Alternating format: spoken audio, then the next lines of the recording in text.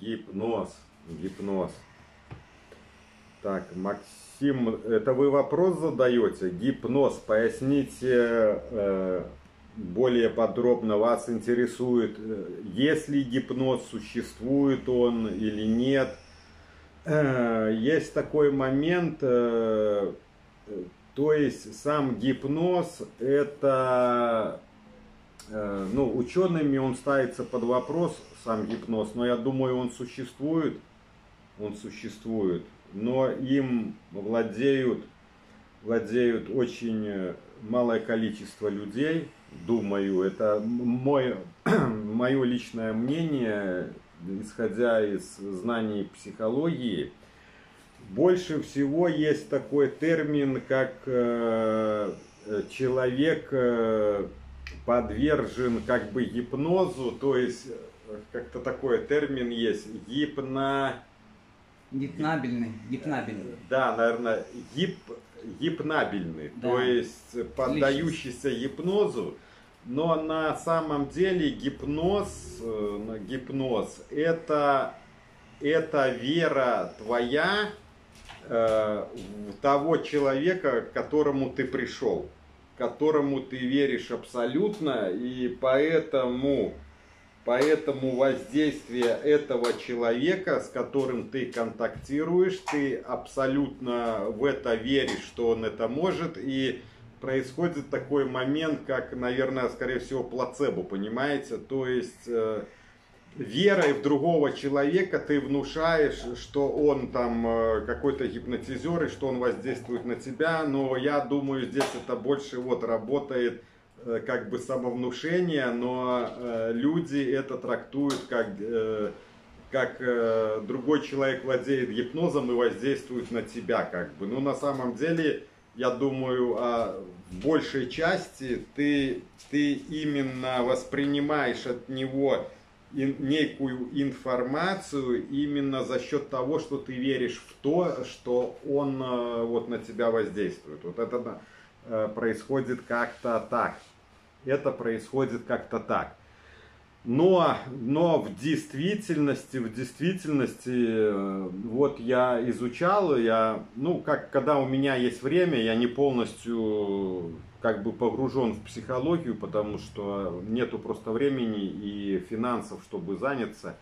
Поймите одну вещь, что э, люди, которые э, изучают, заинтересованы некой наукой, там, э, это люди философские и Э, нужно полностью погру... Э, ну, если тебе интересно, ты полностью погружаешься э, в эту в этом направлении, в котором тебе интересно. Но дело в том, что мир создан так, что нуж, нужны деньги. Нужны деньги, потому что никто там хлеба тебе бесплатно не даст, никто тебе там коммунальные услуги не, не простит, так бы за все нужно платить. И поэтому погруженность, э, отдавание себя некому изучению и погружению туда требую, требует финансы, как и все остальное. То есть э, влечет за собой именно финансовый след. Это, это неизбежно как бы и без этого никак. Поэтому э, мне э, нету, как вам сказать, нету такой возможности у меня, какой бы мне хотелось, чтобы полностью погрузиться в это, хотя одно время на, на, на 2-3 на месяца как бы был очень увлечен, я уходил именно в психологию, я очень много над этим думал, складывал пазлы, эти ребусы, как я говорю, у себя в голове, э, снова и снова там э, добывая некую информацию с источников, э, в основном это с Ютуба, с с повествования разных ученых я уже понимал к тому времени, как это все происходит, как это устроено. И вот в такие, как э, говорится, уже в глубинные вещи я туда заходил, залазил туда, туда поглубже уже.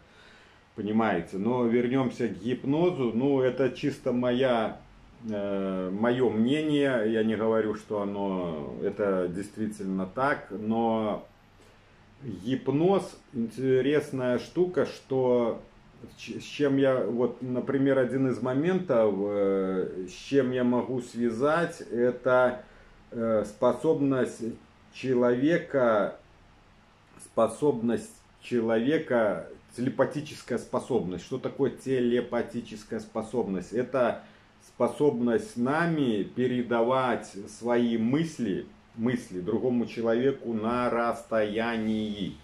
И что интересно, э, длина расстояния не зависит, то есть э, э, телепатические способ... на телепатические способности не влияет, не влияет расстояние, не влияет расстояние. Там я где-то смотрел, приводились примеры такого вот как бы передача вот этих мыслей. Особенно интересно она связана, где-то она прослеживается, это вот у людей э, близнецов, близняшек. Они очень между собой э, связаны именно вот на ментальном, духовном этом уровне. И когда вот одному, например, э, одному из этой пары плохо, то второй где бы он ни был, он это чувствует, он это чувствует, а, а, как, он это, а как это происходит, значит у них есть вот эта телепатическая связь. То, что называют э, вот этим, теле, телепорт, не телепортация, а вот эта телепатическая связь именно на уровне, вот на этом уровне, и поэтому информация и ощущение, вот как он может чувствовать, что его брату там, либо сестре близняшки на другом конце света вот там плохо, и у него приходят мысли и ощущения, но при этом он не имеет информации, переданной там по телефону, либо там еще по каким-то гаджетам, а это просто происходит вот на таком телепатическом уровне, телепатическом уровне. Еще я видел такой интересный момент. Э, люди, которые владеют своими мыслями, то есть если ты умеешь ими управлять, есть способность вот как-то человек объяснял, я думал над этим и приблизительно, приблизительно я понимал, как это происходит. Вот если ты можешь мысль удержать у себя в голове, значит ты можешь ей управлять, то вот если ты можешь некую мысль держать, ты можешь человеку ее как бы внедрить э, э, ему в мозг, ударить по его нейросети. Э, каким способом, смотрите, я думаю, как бессловесно, бессловесно, то есть вот сейчас я говорю слова, это речь, это идет речь. А телепатическая э, способность, это когда ты не разговариваешь, а когда ты думаешь. Когда ты думаешь и что-то отправляешь куда-то. Вот в чем разница. Но вот про внедрение через, я думаю, через э, языковой вот этот э, вариант, то есть э, через разговор слова, вот я озвучиваю некий звук, а что это происходит? Это происходит, я отторгаю от себя вибрацию. Вот я говорю слова, от меня уходит вибрация. А вибрация это что? Это волна. Это волна. То есть, э, и вот получается, я словом могу ударить по вашей нейросети. То есть, иными словами, внедрить свое слово в вашу голову, понимаете? То есть вибрация пошла, а вы вот этими э, через э, слух восприняли и, вот эту вибрацию, она вошла и где-то там э, зафиксировалось у вас в мозгу. Вот примерно это происходит так. Но это я образно, поверхностно обрисовываю, как я это понимаю. Вот, вот насчет того, существуют ли э, вот эти экстрасенсы, э, потом э, не телепаты, как, блин, Слава, Есть слава. экстрасенсы, телепаты, парапсихологи. Ну, парапсихологи, да, вот э, весь этот ряд именно как бы воздействие на человека через энергетику. А также ведьмы, так называемые, целители. Да, но принцип, я думаю, принцип, один и тот же принцип. принцип воздействия, он один и тот же, это волновое воздействие, как бы воздействие энергетикой. Словом, воздействие. мыслью. Ну, слово это что? Да. Волна, вибрация. Волна пошла, все, и ты воздействуешь на нейросеть, потому что нейросеть это, это что? это тоже волны, электрические волны, понимаете? И поэтому вот эта взаимосвязь, волновая взаимосвязь между мозгом и нашими словами. Точно так весь мир устроен, э, все в мире связано между собой, как я уже рассказывал, живые, неживые, э, э, как бы живые организмы, неживые, там дома и так далее, там звезды все они, мы состоим из молекул, а молекулы, они отторгают от себя энергию, энергию.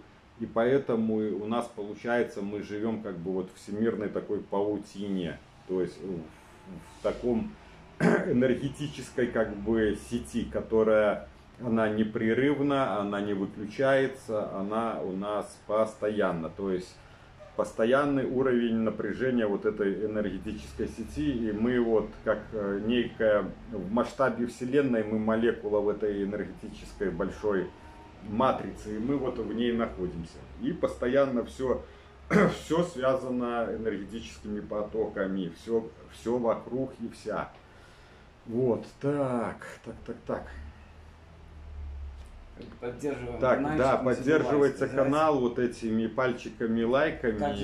И, и да, по возможности, ребята, не забывайте поддерживать нас со стороны вот этих, то, что я рассказывал, то, что за все, как говорится, надо платить, то есть финансово, финансово. Да. Так, ну вот уже нашло много вопросов.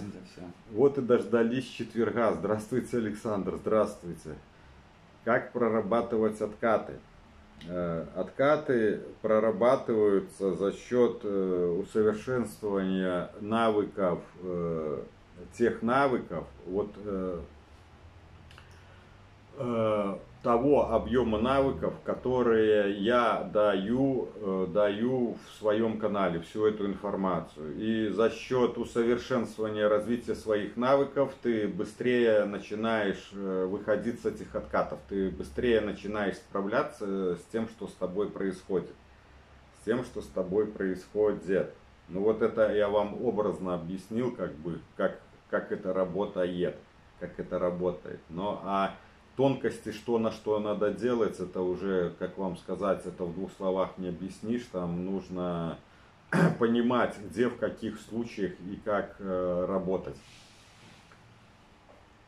Тянет лоб и слегка голова такая, как фата.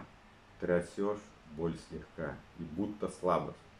Ну вот это похоже на тревожный мозг, но это, у меня тоже такое было, у тебя он там, когда тревожится, есть такое ощущение, что он как бы отошел от плоти, да, и вот он как бы там, как желе какое-то, вот как будто он там э, сам по себе, вот такое ощущение, что он там, э, как я сказал, отошел от плоти, где-то так висит, он болит, жужжит, и, и вот такое это такое ощущение, что вот он у тебя поднялся и упирается в эту кость, и вот такое, ну вот такое чувство, вот мне его тяжело описать, его тяжело описать, это чувство, вот как будто он уперся вверх, и вот такое неприятное очень состояние, болевое такое.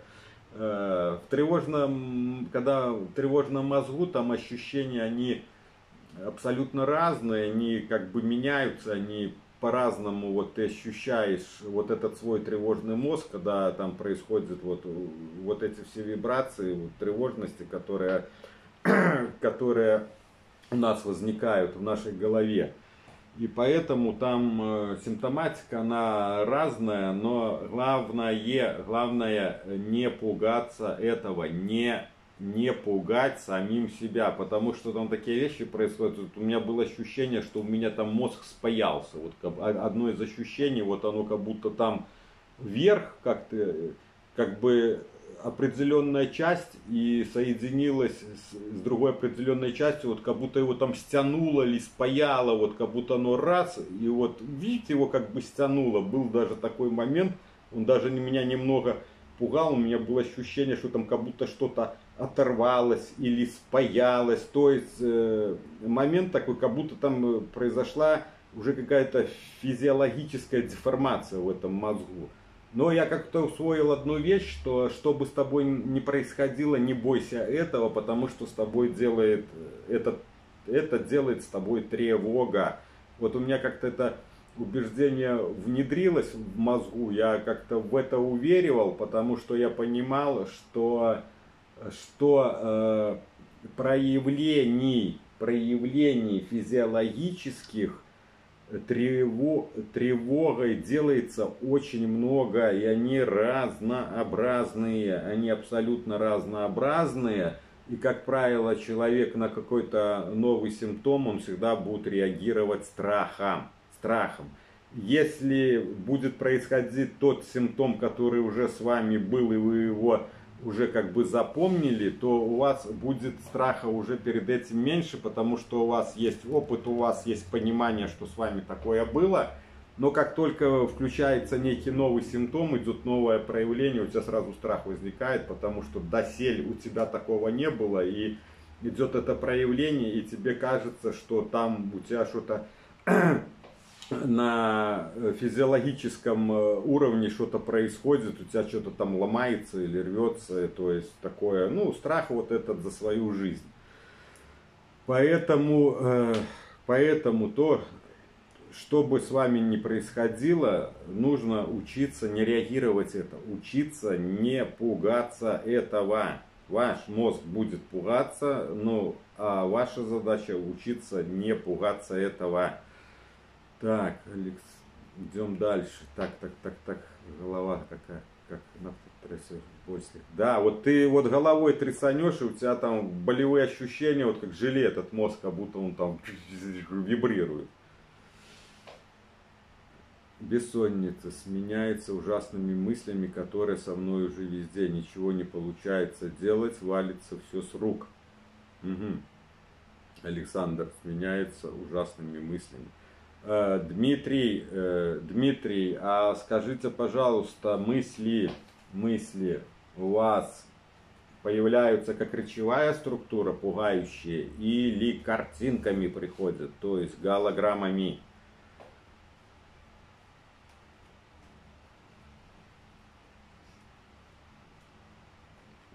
Дмитрий, так, может мне нужно уже лечиться в больнице, я боюсь сойти с ума как сосредотачиваться, может, есть практики как, какие, какие-то. А, смотрите, Дмитрий, я просто вспоминаю себя, когда я был на полном, ну, применю такое слово, на полном расколбасе, да, полностью расшатан вот этой тревогой, там у тебя страхи, ломки, у тебя страх постоянный – человек на тревоге, он не может сосредоточиться. Это практически невозможно, потому что э, на тревоге, на страхе у тебя как бы отключается рациональное мышление. У тебя только работает вот инстинкты, то есть лимбическая система. И поэтому, поэтому ты на страхе не можешь сосредоточиться от слова вообще. Вот ты можешь пытаться там сесть, чего-то смотреть, но ты все время думаешь про свое состояние, тебя все время гонит с тобой, черт знает, что происходит. И поэтому э, я, я, я таблетки не пил, не пил.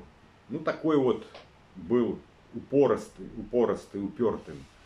Э, и э, мне информация заходила по маленьким крупинкам, вот, понимаете, от, э, от целого там часа или полтора приема у психолога, мне всего лишь там крупинка какая-то попадала в голову, остальное все время в моем мозгу оно проходило мимо, потому что ты все время зациклен, ты все время на тревоге, на страхе, ты зациклен на своем состоянии, и поэтому э, нужно, нужно, там нужно все работать в комплексе, понимаете? И это все будет приходить постепенно, постепенно. Вот это понимание, что с тобой происходит, понимание, как работать с мыслями.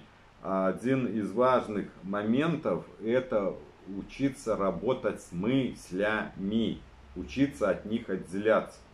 Потому что мысли будут у вас вызывать страх, будут у вас, а страх, конечно, запускает тревогу, вот негативные, если мысли негативные, то есть если человек находится в депрессии, они будут его подавлять, то есть они будут подавлять э, твою волю, тебе вот будет становиться плохо, но плохо э, не в таком ракурсе, когда у тебя что-то болит, а плохо у тебя именно почему человек в депрессии другие люди его не понимают, потому что эти ощущения их очень тяжело передать. Человек, который этого не ощущал, он не понимает. И, как правило, люди, которые в этом не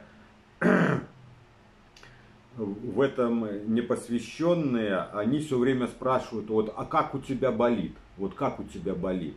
А ты не можешь объяснить, как у тебя болит, потому что в реальности при депрессии, когда тебя дает, у тебя ничего не болит, тебе просто плохо. Тебе просто плохо. Э, и поэтому ты и не можешь объяснить, э, как тебе плохо, потому что в понимании других людей, если человеку плохо, это значит у него что-то болит, а, у тебя ничего не болит. Тебе просто вот плохо, у тебя подавленность внутри, и тебе просто плохо и ты, и ты, э, и ты этого не можешь им объяснить, и с другой стороны, они этого не понимают. В их понимании, если плохо, значит должно что-то болеть. Вот как оно происходит. Вот. И один из первых моментов, это, один из моментов, это работать нужно с мыслями. Я даже, наверное, мыслям отдам самую большую, э, как сказать, приоритет, приоритет, больше приоритет отдай, отдам мыслям, чем всему остальному, потому что с мыслями научиться работать там очень тяжело э, осознать, как это происходит, как это вот отделиться, каким способом. Для одних этот способ подходит, для других этот способ не подходит, и потом э, очень тяжело человеку э, понимать, осознать, вот когда ты попадаешь э, э, в эту ловушку, когда ты попадаешь в эту ловушку, ты просто не понимаешь, что ты попал в ловушку своего мышления. Ты реально не понимаешь, что ты туда попал, а когда ты выходишь с этого состояния, человек, он, он не знает, что можно думать по-другому. Мы думаем именно этим способом, в который мы уже попали при вкручиваясь в наше расстройство, мы все время пугались, мы все время боялись, мы у себя формировали страх, вызывали страх, а страх запускал тревогу, тревога, она влияла на наше мышление, а, оно искажало наше мышление, и постоянно находясь в страхе, в тревоге, день за днем, неделя за неделей, месяц за месяцем, мы сформировали себе такое мышление, вот это тревожно-негативное мышление. Еще есть такая, такой термин в психологии, называется э, выученная беспомощность. То есть, когда у человека всегда тревожно-негативное мышление, он все время тревожится. И, но люди этого не понимают, и мы, мы люди, люди не посвященные вот в эту тему психологии, как и что устроено, они не понимают, что можно думать по-другому. Что можно думать по-другому. Тебя крутит это мышление, и ты все время с ним ходишь. И у тебя, у тебя нету, ты просто не имеешь информации для тебя, вот и когда я говорю, то э, для многих людей, которые только что ну, скажем так, вошли на этот канал и попали на наш э, стрим, для них это будет шок, что можно думать по-другому, понимаете? Люди же этого не знают на самом деле, они даже про это не задумывались. И поэтому, когда мы попадаем вот в ловушку, в этом расстройстве, мы попадаем в ловушку своего мышления. Вот это тревожного там, либо тревожно-негативного мышления. Соответственно, когда ты все время на тревоге, на страхе, у тебя все больше и больше развиваются страхи, а тревога, она все больше и больше у тебя разгоняет э, психосоматику разного рода. И вот ты попадаешь в такой замкнутый круг. Но э, это все нам делает наше мышление. Издевается над нами наше мышление. Вот в чем дело. И когда ты начинаешь понимать, что можно думать по, про другое, э, по-другому, потому что мы в этом расстройстве все время думаем про свое состояние, у нас куча вопросов и практически нету на это ответов.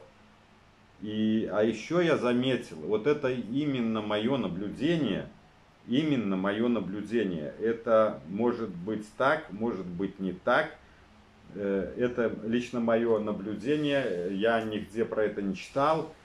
Я заметил такую вещь, э, чем сильнее тревога, тем тяжелее тебе вырваться с ловушки твоего мышления, то есть этой руминации. Очень трудно переключиться, очень трудно перещелкнуться. Ты получаешься как бы в капкане своего мышления. Вот у меня было такое ощущение, вот, оно как тебя там, как сдавило вот твое мышление, и оно тебя крутит, крутит, и вот ты, я помню, когда понимал, что мне нужно делать, я только переключусь, и меня вот буквально, если мы представим себе холодильник, да, вот большой холодильник, он металлический холодильник, и мы к нему, э, нет, лучше наоборот, представим себе большой магнит, такой мощный магнит, да, и возьмем какой-нибудь металлический предмет, гвоздик, например.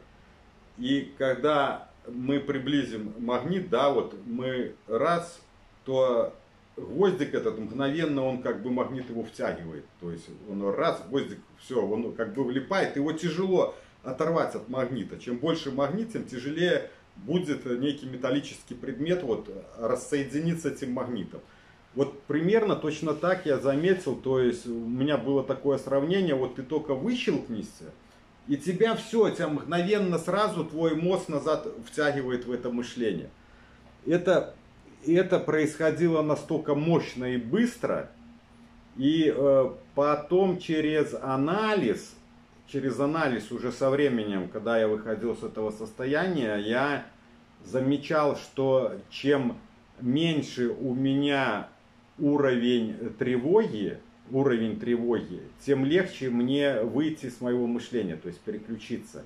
И чем она меньше-меньше вот уменьшалась, эта тревожность, ее сила, тем мне все было легче и легче легче выскочить, вот переключиться, перещелкнуться со своей вот этой руминации. Я думаю, вот это один, один будет из аспектов именно уровня тревоги, э, удержания тебя в этой руминации. И второй момент, оно настолько закрепляется, вот это мышление, когда ты годами крутился, месяцами, годами, чем больше ты находишься в этом состоянии, тем сильнее все укореняется, оно сильнее все у тебя там укрепляется. И поэтому нужно больше времени, чтобы от него избавиться. Вот как она работает. Чем меньше ты там находился, тем меньше нужно времени. Чем больше ты там находился, тем больше нужно времени, чтобы чтобы от него избавил, избавиться. Вот я вам сейчас рассказал про руминацию, про свои наблюдения. Это мои личные наблюдения, потому что я был в этом состоянии и э, я учился анализировать, видеть, как это происходит, как это работает, а по-другому у меня не было шанса выйти с этого состояния. То есть не учась анализировать и изучать себя, выйти с этого состояния Э, шансов практически нету. Это первое. И второй момент, э, это без анализа и запоминания, как это работает и как ты это делаешь, как ты это делаешь. Ты можешь выскочить, но большая вероятность тебя туда затянет обратно. обратно.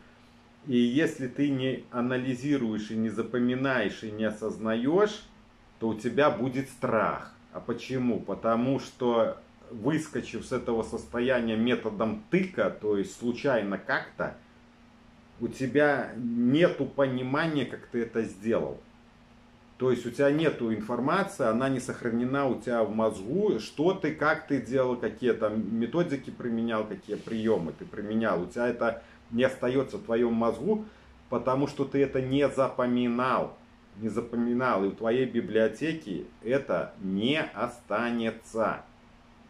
У меня, у меня бы, потому, я рассказываю это тоже с моего опыта, с моей ситуации. Я был случайно выскочил на три месяца. Вот выскочил как-то. Как вот, вот именно этот момент я не понимал, как это произошло. И когда я получил такой затяжной стресс, суточный, у меня снова начались проявления, и у меня сразу пошли воспоминания того, что было со мной. А эти воспоминания, они вызывают страх. Они вызывают страх, а соответственно что? Страх это тревога. И чем сильнее у тебя начинает развиваться страх, тем сильнее тебя охватывает тревога тревога, а тревога тебя начинает расколбашивать. То есть э, с тобой начинает происходить то, что с тобой происходит. Это делает тревога, а ее запускает страх. И когда у тебя нет опыта, как и что с этим делать, то, соответственно, все, э, меня страх начал раскручивать мгновенно, и второй раз я влетал намного быстрее, вкручивался, меня снова разносить начинало – Э, и намного сильнее. Сильнее. Просто когда я первый раз туда вкручивался, это постепенный процесс, он не быстро развивается, когда ты первый раз туда входишь. Ты же не знаешь, что с тобой будет, когда ты первый раз туда входишь, потому, потому что оно постепенно начинает приклеиваться одно, потом второе, третье, то есть как снежный ком формируется как бы постепенно, но ты же не имел опыта понимания, что с тобой будет дальше. Ты не имел, потому что с тобой это не происходило, и у тебя страха нету, в твоей голове этого нету. А уже когда ты второй раз туда залетаешь, то оно все там остается в памяти. А, остается все там э, в памяти, и оно очень быстро мозг тебе ее выдает. Он начинает эти воспоминания тебе быстро выбрасывать, а тебя все это начинает пугать, ты этого не хочешь, вот этого ада, который с тобой происходил. Ты его не хочешь, соответственно, все, ты боишься, и оно больше, больше, больше тебя раскручивает. Но это принцип такой, вот смотрите, возьмем собаку, которая э, к вам подскочила, ну, прибежала к вам, она до этого вас не кусала, и у вас перед ней не было такого сильного страха. Ну а когда она вас уже укусила первый раз, и вы снова с этой собакой сталкиваетесь, то у вас уже возникает более сильнее страх, потому что у вас есть опыт того, что у вас эта собака кусала. Вот как оно происходит. Так, вопрос, на какую тему можно задать вопрос? Ну, на тему психологии задавайте, да, я тут э, по психологии. Так, идем дальше по вопросам. Я смотрю, уже вопросов насыпали много. Скажи насчет, могут задать вне очереди. Да, по поводу вопросов, если кто-то хочет э, вне очереди, есть такой у нас э, донати, он можете... Или через карту. Через карту, да, на тех кому не терпится, либо кто хочет получить, потому что... Ответ быстрее. Да, потому что мы на прошлом эфире не успели даже всем ответить. То есть, кто там через э, вот эту платформу будут задавать вопрос финансовый, мы, я отвечаю в первую очередь, э, то есть я, скажем так, обязан ответить на, э, на этот вопрос первым. Так, идем дальше откаты. Про откаты рассказал. Так, так, так, так, так.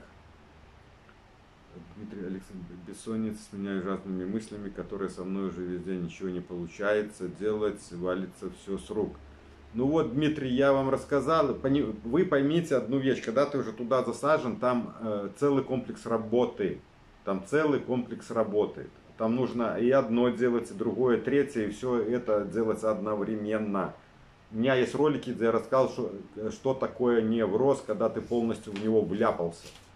Это сродни э, гладиатора на арене. На тебя постоянно как бы вот это все нападает, а тебе постоянно с ним нужно работать, тебе постоянно от него нужно отбиваться. Вот как это работает. Ты как, как бы в спирали такой находишься, понимаете? У меня где-то есть ролик, вот посмотрите, посмотрите. Это комплекс работы. Это целый комплекс работы. Если вы уже закручены плотненько, там можно, нужно одновременно и с пониманием работать, и с мыслями, э, то есть понимание, это осознание, одновременно замена убеждений. Там у меня куча было разных приемов, при бессоннице, переключиться, как э, я рассказываю там много чего, как э, способы переключений, как бы там разные и болевые то есть способы переключения, отвлечения мозга. То есть вы меня просите рассказать, заняться рассказом то, что мы формировали год. Это мне нужно сидеть и сутками рассказывать. Вот, ну, у вас там все будет, Дмитрий, в совокупе работать. Понимаете, у вас будет одно, второе, там страх, тревога, болевые ощущения, и вас это вот все, оно будет крутить и ломать. И нужно понимать, что с тобой происходит, какие процессы внутри тебя происходят, как работать с мыслями. Способы разные есть по работе с мыслями, понимаете? Поэтому у вас э, вопрос не, не как бы предметный, есть предметный вопрос, а у вас он э, вопрос такой общий, общий, многогранный. То есть на него долго нужно рассказывать, потому что там все работает одновременно и все вместе. Оно только меняется, вот э, мозг то на одно переключается, то на второе, то мысли пошли, то психосоматика срабатывает, там кардионевроз у тебя пошел. И вот мозг тебя все время гоняет, и нужно там с мыслями отделиться. При кардионеврозе там создать себе голограмму, проговорить «я здоровый и сильный». И вот так ты вот в таком постоянном, в этой каше тебе постоянно что-то нужно делать. Ну, я так делал, понимаете? То есть я вам рассказываю со своего опыта. Когда ты уже сильно просажен, когда ты уже сильно туда вален, то с тобой там происходит черти что и хвостик сзади. Понимаете? Так, привет, так, так, так. Причувствую звонок, сообщение человека.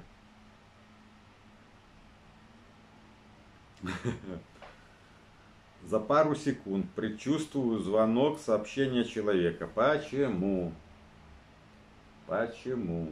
Ну, здесь может э, разные причины работать. Может работать э, так называемый опыт. То есть, э, если мы свой день э, посмотрим со стороны, то мы увидим, что в течение дня у нас все многое повторяется в течение дня. Каждый день мы делаем определенные процессы одни и те же.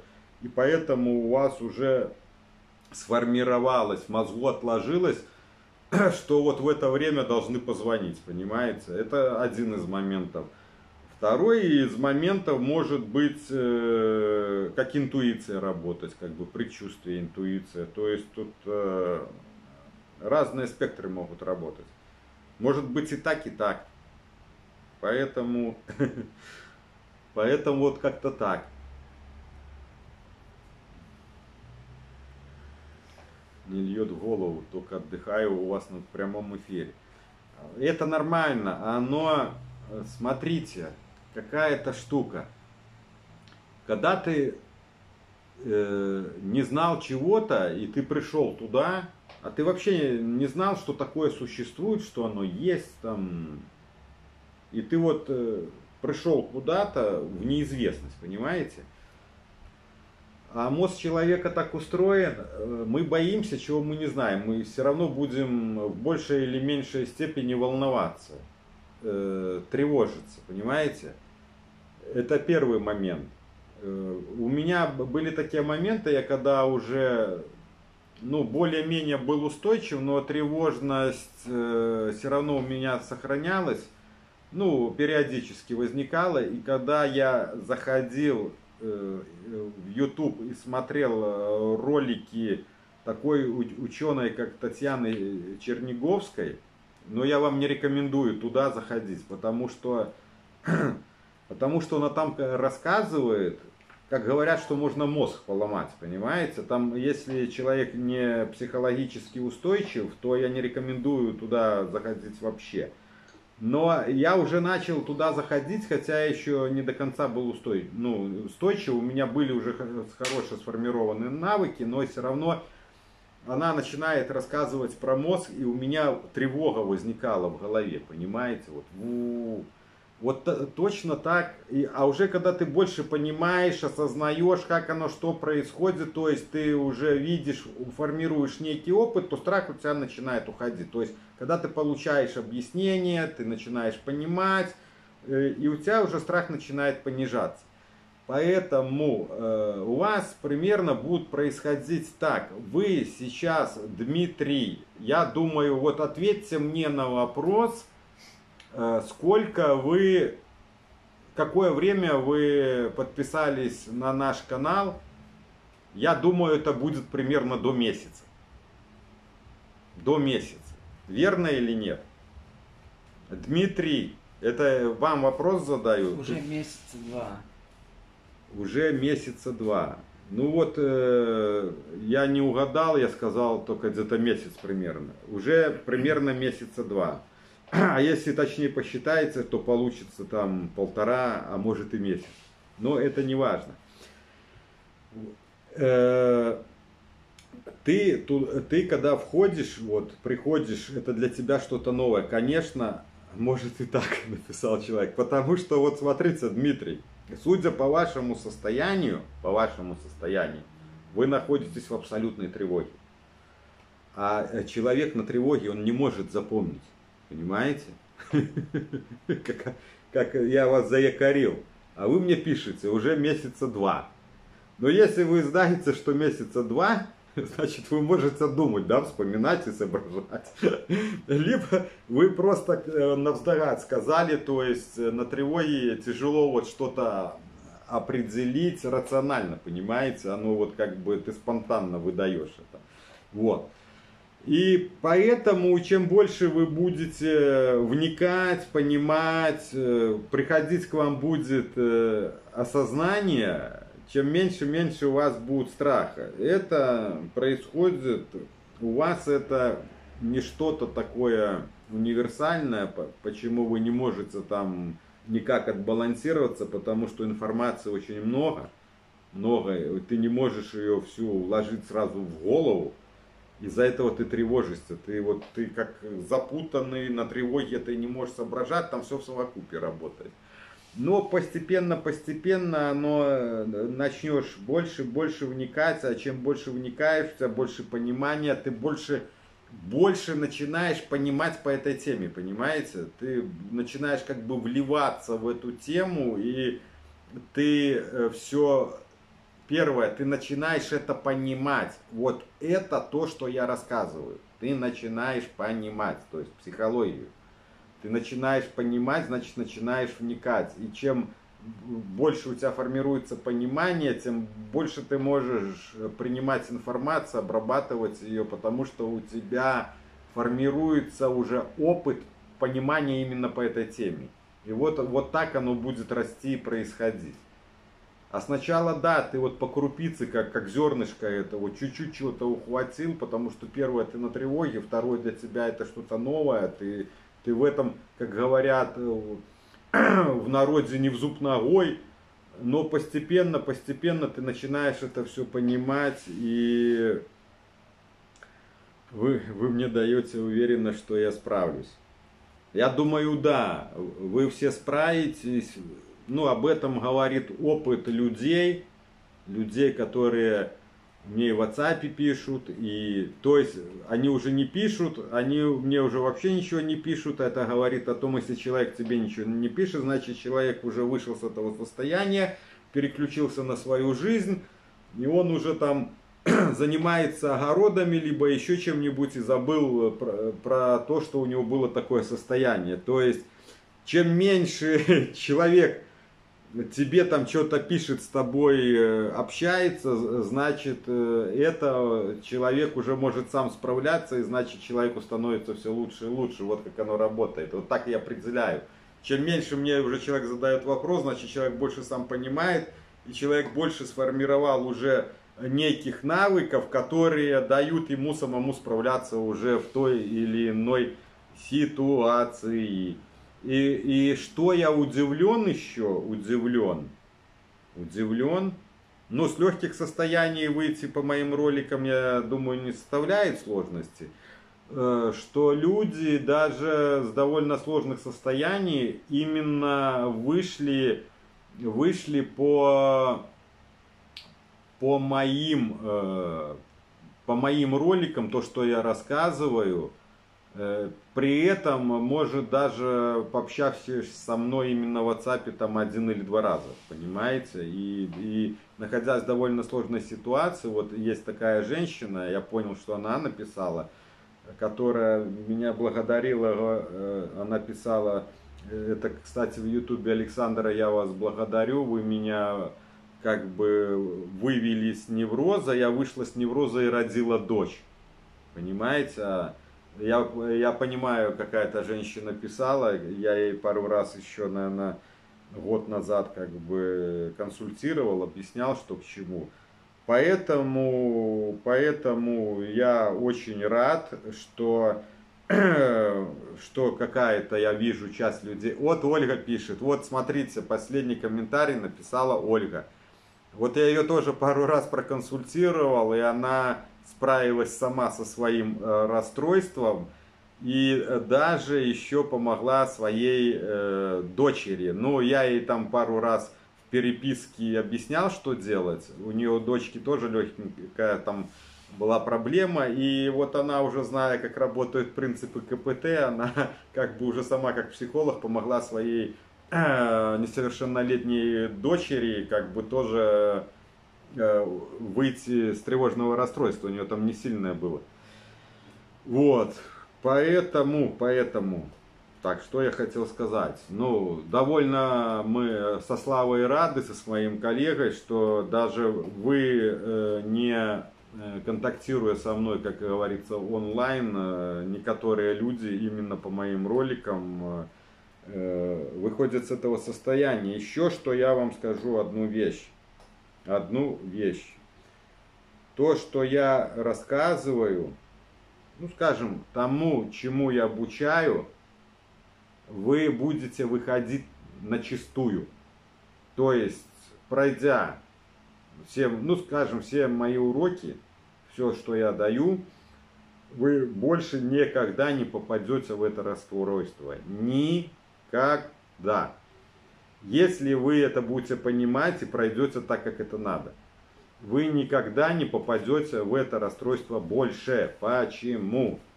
Потому что у вас э, будет определенное количество навыков, которые у вас сформированы, и они уже никуда не денутся, они останутся у вас там в библиотеке. Они будут лежать на полочках, пылиться, но в случае чего вы их будете доставать оттуда.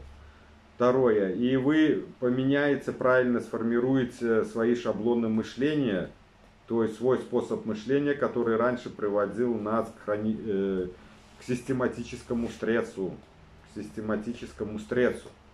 Но главное, что у вас останется опыт, опыт, знание, как и что с чем делать.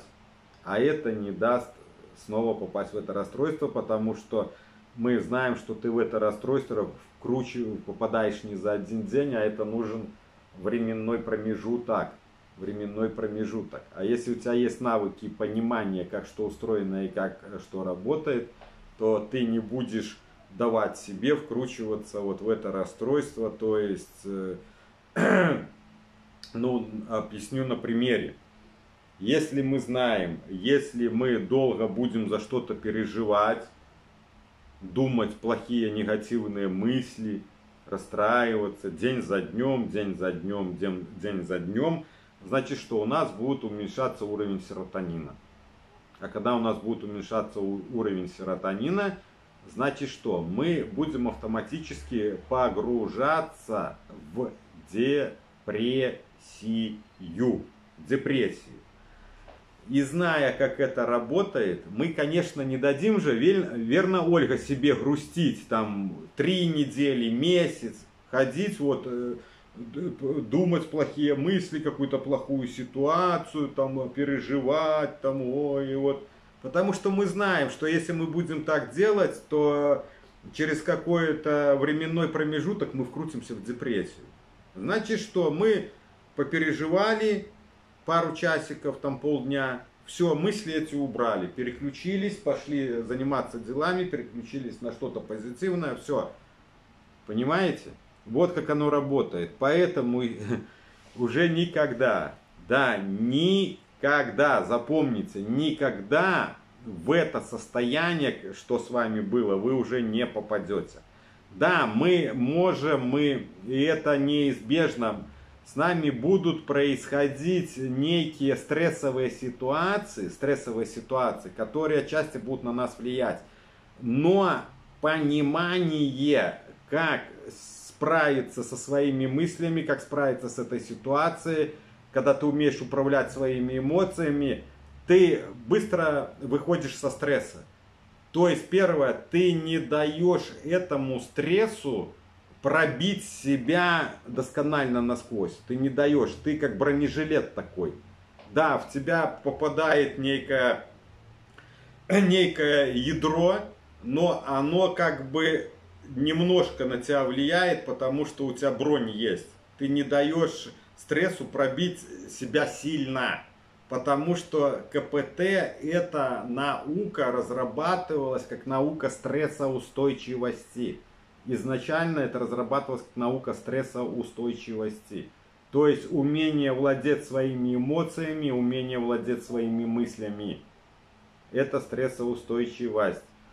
И поэтому, кто пришел к этому осознанию полностью, поним, э, туда включается понимание, как ты устроен, понимание, как что на тебя влияет, вообще вот эти все процессы, которые происходят на разных уровнях, то ты, исходя из и с этих знаний, с этого опыта и умения то, которое сформировалось у тебя при выходе с этого расстройства, оно, ты его применяешь, дабы не попасть и не испытывать, а минимизировать воздействие некой ситуации на тебя. И, и второе, не давание себе вкрутиться снова в неприятное вот эти ощущения, неприятные вот эти состояние, которое с тобой происходило, но это, мягко говоря, неприятное состояние. То есть за счет навыков ты учишься этому противостоять. Второй момент, ты очень в этом расстройстве я очень э, много поменял то, что называют отношение к жизни, отношение к ситуациям, отношение к ситуациям. Я как-то Садхуру смотрел, когда выходил с этого состояния как-то в какой-то период.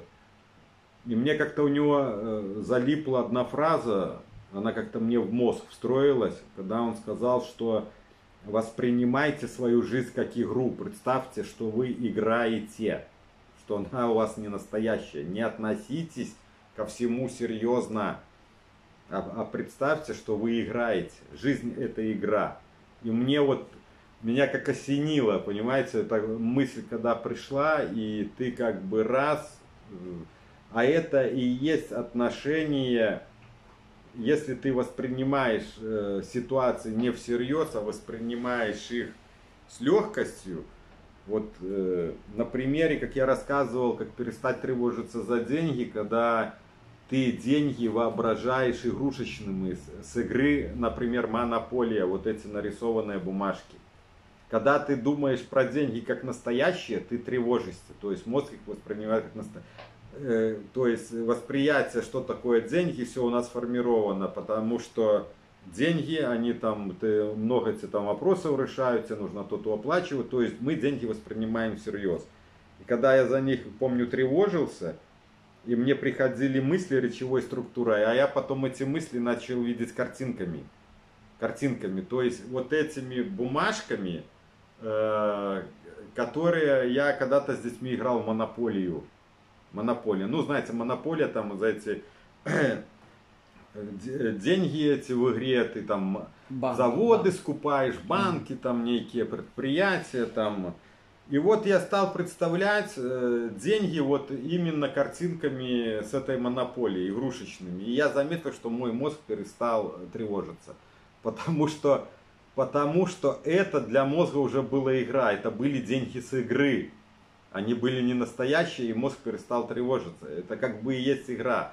А когда я воспринимал деньги как настоящие, то мозг тревожился. Вот здесь такие интересные моменты вообще происходят. Мозг это такой интересный парень, блин, он и хитрый, он и ой-ой-ой, такой парень, блин. Так, так, так, так, так.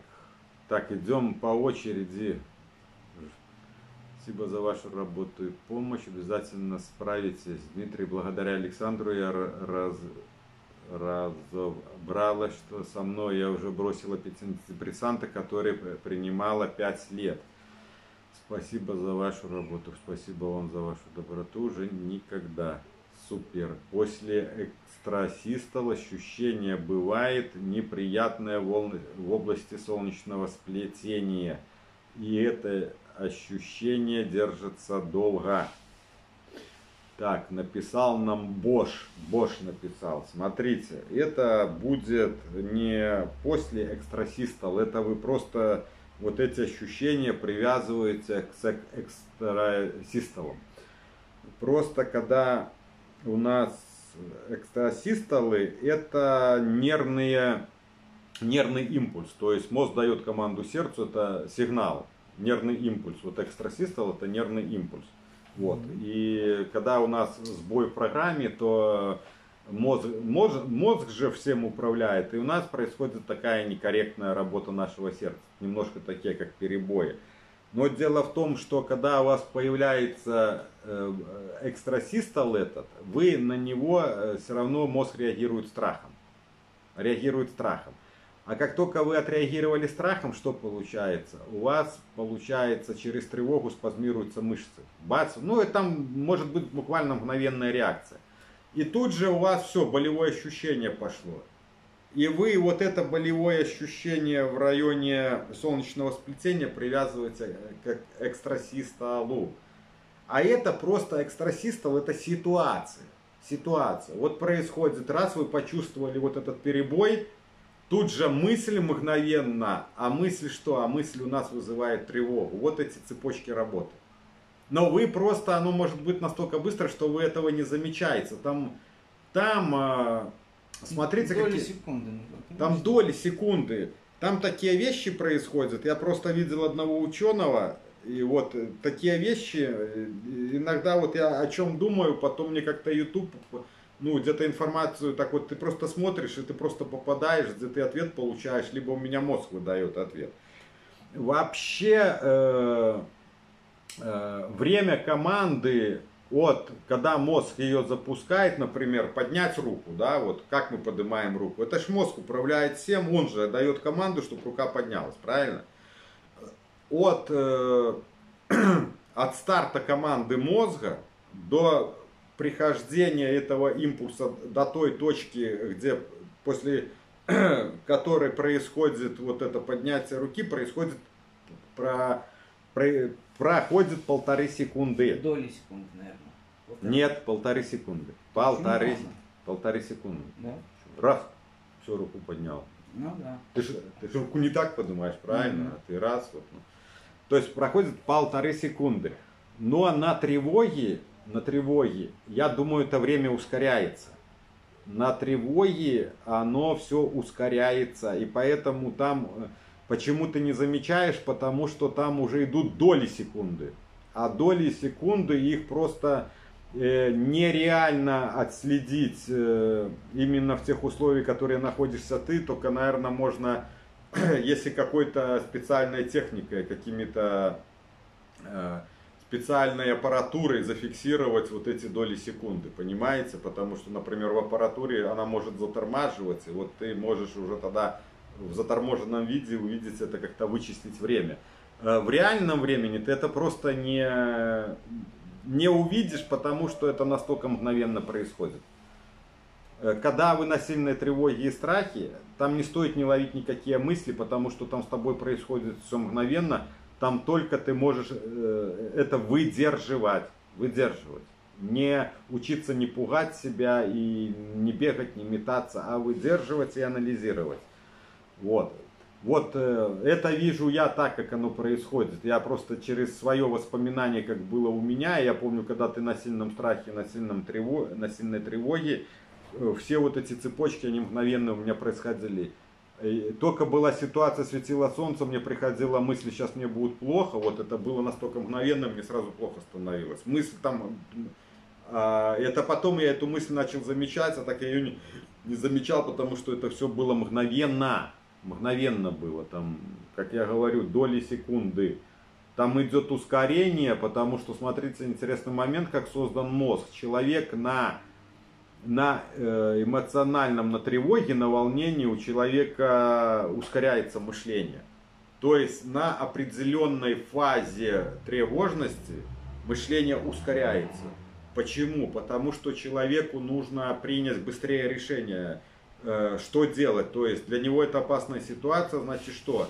Нужно применить некое действие. И чтобы выбрать быстрее, что ему применять, э, мозг ускоряется. То есть быстрее мысли эти летят, чтобы быстрее подать э, человеку ответ. Но когда уже уровень еще больше повышается, то у тебя все, у тебя там уже, как говорится, думать некогда. Там мгновенно нужно действовать, там уже отключается префронтальная кора головного мозга, ты там уже не можешь думать, у тебя все, лимбическая система включается, ты начинаешь действовать рефлексорно, так как, наверное, у тебя там сформирован опыт, то есть убегать там от страха ты начинаешь это избегать, либо обомлеешь вообще двумя способами, тоже там так мозг устроен, либо на страхе ты отпрыгнул, либо обомлел, то есть замри, то есть э, стресс, вот эти ситуации работают э, по двум направлениям. Либо ты отпрыгнешь, вот ты метаешься, либо ты замри, то есть упади как бы. Там интересные вот такие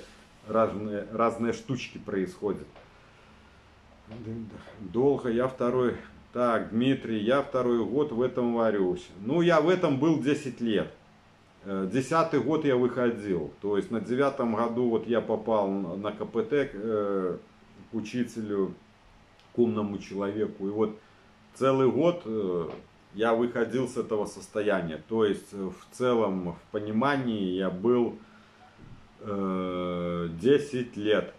Так, вот кто-то пишет, у меня 16 лет, бот, бот, э, Бош пишет. У моей тети 26 лет это расстройство было. Но у нее не в такой форме, как у меня, когда у меня уже полный расколбас был, а у нее такое форма, ну ей тоже хватало, ну скажем так, э, э, стабильная, а, стабильно одинаково теку, текущая, понимаете?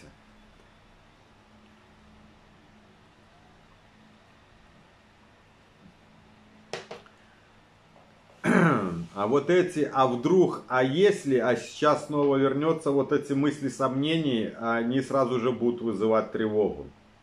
Мысли сомнений, либо мысли воспоминаний. Сейчас снова будет, сейчас снова вернется, и у тебя перед этим возвращением страх, у тебя перед этим э, возвращением тревога. Нужно отделяться от этих мыслей и говорить себе, вернется так вернется, я с этим справлюсь. Но и обращаться к опыту к опыту, но опыт нужно нарабатывать, формировать, и, ты, и тогда ты начинаешь видеть, как у тебя что и где получается, и это тоже будет э, один из моментов формирования твоей уверенности, твоей уверенности в том, что ты, ты уже видишь, что ты отчасти в больше или меньше с этим справляешься, ты умеешь уже то делать, то у тебя получается, это постепенно начинает тоже тебя формировать уверенность.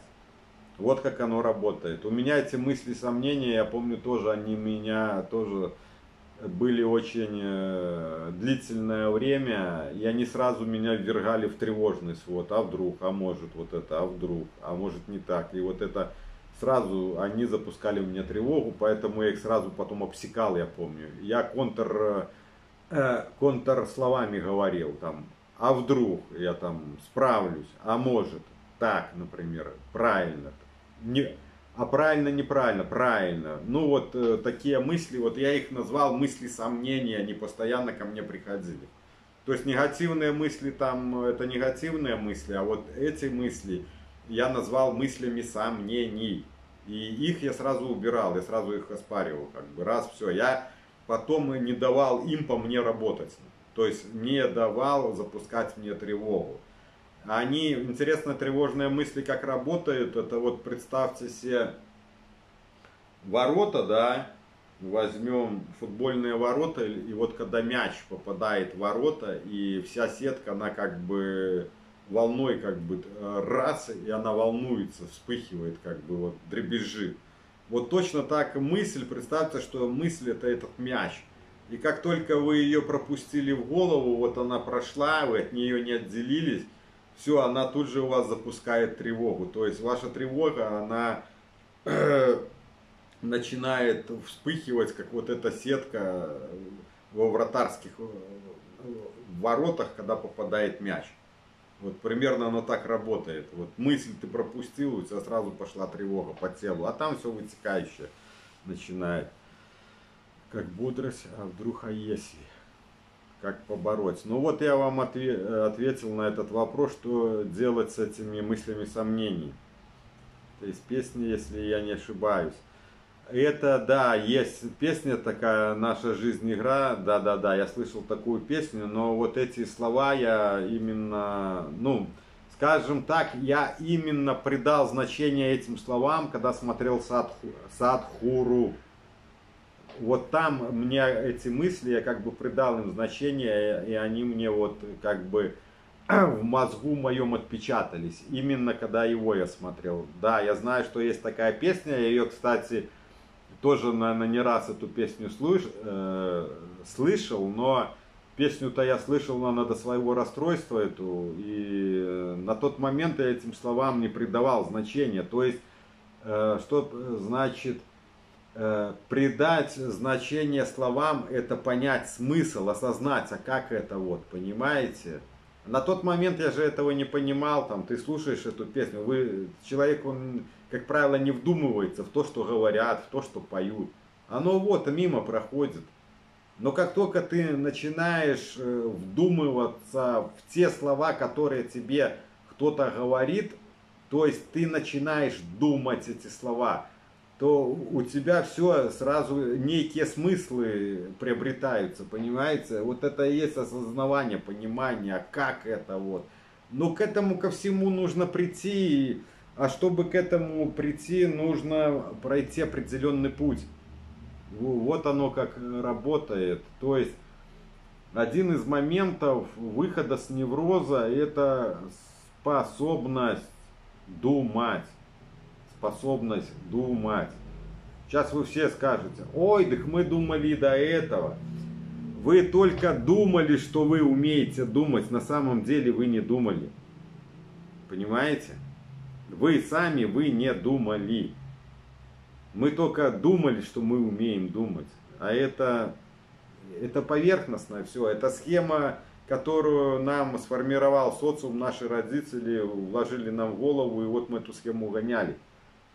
И мы думали, что это мы думаем, но это, это мы не, не думаем, это просто та схема работает. Понимаете? Это очень такие тонкие вещи. И подавляющее коли, э, количество людей, проживающих на земном шаре, они только думают, что они умеют думать. На самом деле, на самом деле нет. Нет. Если бы люди умели думать, то не было бы того, чего сейчас происходит на нашем шарике. Понимаете? Вот в чем дело. Так.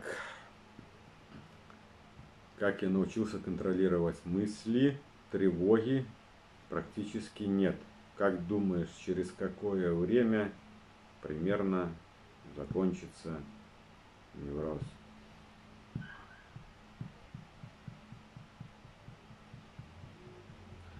А, вот э, не, не знаю, мужчина это или женщина, вот вопрос задает.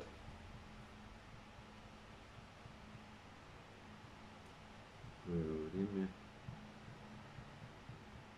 закончится невроз. Первое, что бы я вам хотел сказать, э, я вам не сват, не брат и не жена, чтобы вы со мной на ты разговаривали. Я же с вами на вы разговариваю, правильно? Верно? Вот. Я могу э, на ты разговаривать только с человеком, который на это дает добро, либо близко, ну, мне знаком. А так я себе не позволяю человека называть на ты, какого возраста он не был. Это уже неуважение к человеку. А когда закончится невроз, это у каждого частное.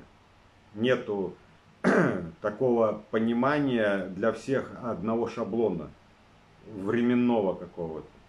Это на то, э, когда у кого что закончится, работают разные, влияют разные, э, как вам сказать, э,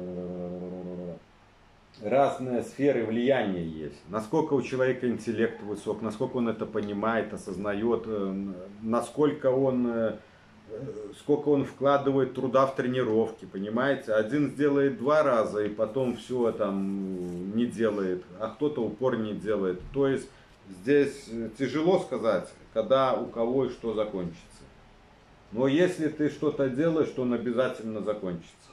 Ну, соответственно, в понимании можно делать, э, как бы, применять одно, но э, не туда, где оно надо он закончится, я могу дать, э, ну, как вам сказать, вероятность того, что он закончится, когда работаешь со специалистом, то да.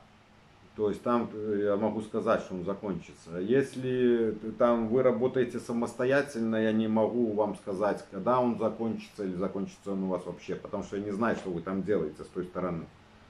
Понимаете, в чем дело? Вот.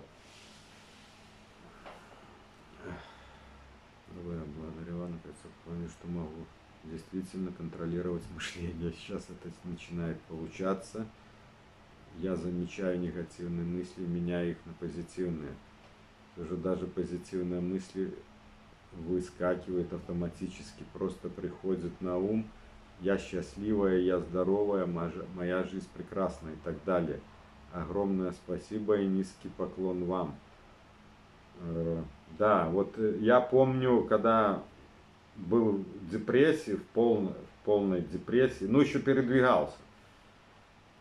А, выходил, а когда стал, да, стал понимать, как это все работает. Я с утра до вечера говорил себе такую фразу, когда был в депрессии – я вот выходил на улицу, изначально лежал, у меня было захват, в захвате негативных мыслей, я их трое суток только скидывал, скидывал, скидывал, скидывал, скидывал. Трое суток, вот только эти негативные мысли, ничего другого. Вот они идут, а их только скидывал, скидывал, скидывал. Потом начались пробелы у меня, то есть они стали э, реже приходить. Временной промежуток начинал увеличиваться между приходом негативных мыслей, понимаете? И уже потом, когда я их э, более-менее отработал, они уже реже-реже мне начали приходить. Но у тебя была, у меня была подавленность, ты все равно подавленный, у тебя потому что серотонина не вырабатывается столько, сколько надо, ты в подавленном состоянии.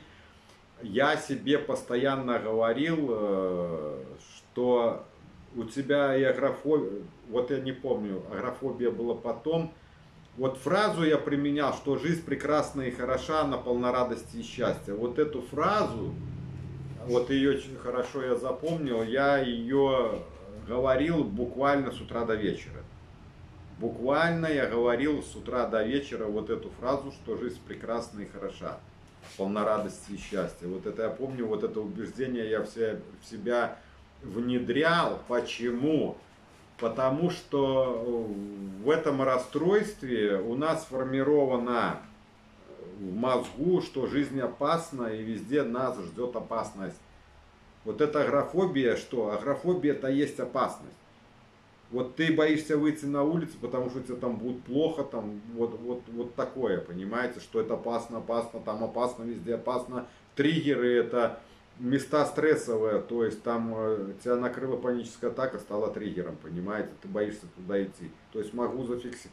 Мозгу зафиксировалось опасно, опасно. То есть внешний фон, что то, что тебя окружает, для него опасно стало.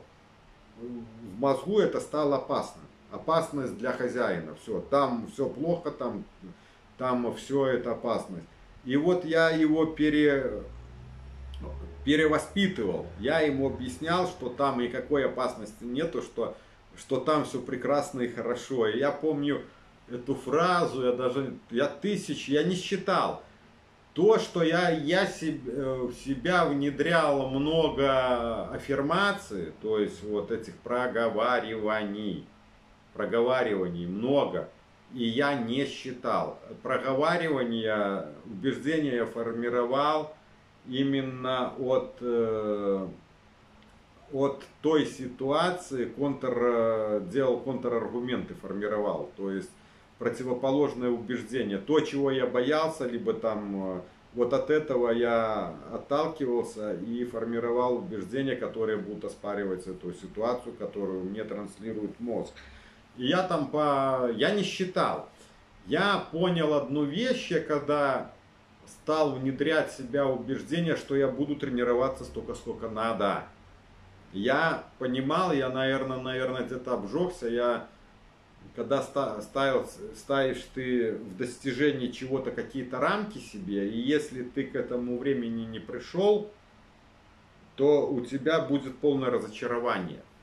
А мы же еще в этом расстройстве находимся, я думаю, в должествовании, что должно быть так только так и никак иначе. И вот, когда я ставил рамки, то есть я их не ставил, я понимал, что если я буду думать, вот, закладывать некое время, и к этому времени я не добьюсь того, чего, чего в моем воображении надо добиться, то я получу как бы удар под дых, а как он происходит. Дело в том, что мы, когда себе говорим, как мы думаем, мы себя программируем.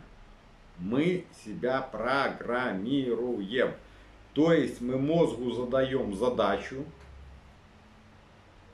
по временному, э, по временному э, задачу влаживаем на то время, на которое мы думаем. И он будет э, работать, упорно работать вместе с нами то время, на которое ты его запрограммировал, на то время, которое ты ему сказал.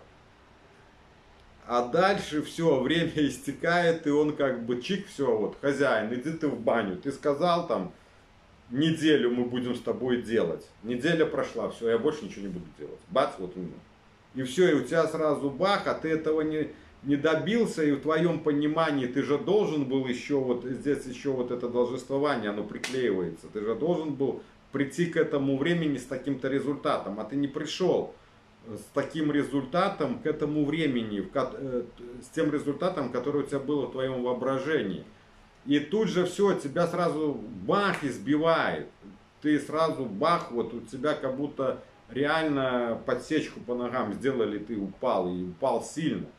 И поэтому я понял, что его нужно программировать на неопределенное время.